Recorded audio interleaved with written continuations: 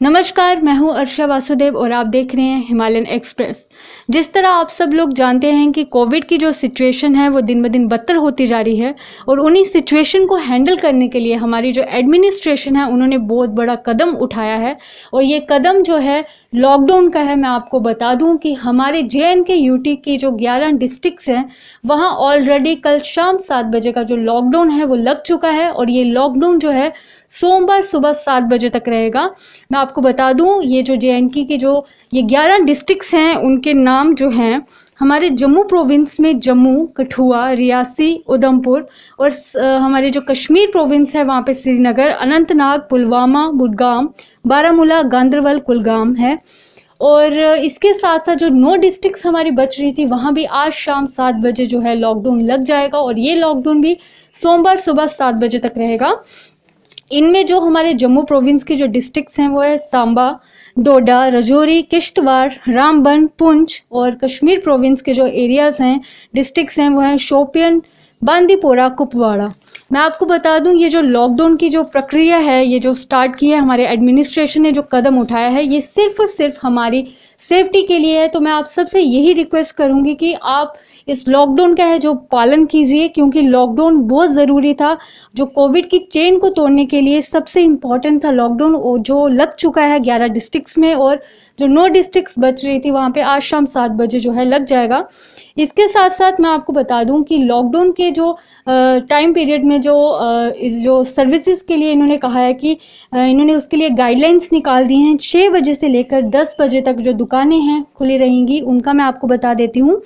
Local retail grocery shops catering to residential areas and मोहल्लाज इसमें mega marts भी आएँगे supermarkets and multi item departmental stores इसके साथ साथ मिल्क और डेयरी प्रोडक्ट्स की जो शॉप्स हैं, वो खुली रहेंगी छः बजे से लेकर दस बजे तक.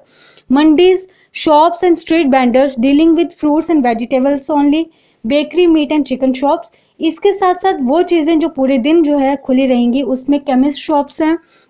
डायग्नोस्टिक सेंटर्स हैं medical optical and clinical establishments LPG outlets and petrol pumps और agricultural activities cattle feed and fodder shops ATMs and cash vans print and electronic media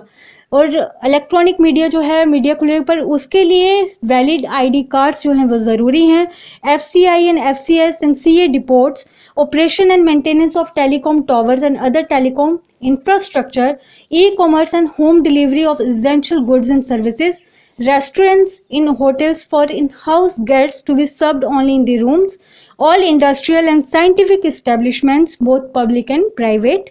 all development construction works and mining activities, movement of all health, medical and sanitation personnel, both government and private on production of ID cards, routine vaccination drive in all designated sites. इसने बोले कि जिन लोगों को vaccine लगवाने के लिए hospital या कहीं जाना है वो लोग वैक्सीन लगवाने के लिए जा सकते हैं उन्हें कोई रोक टोक नहीं होगी